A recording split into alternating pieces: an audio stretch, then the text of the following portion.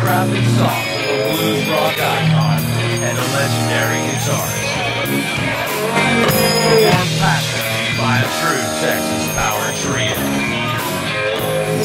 Well, my time has passed.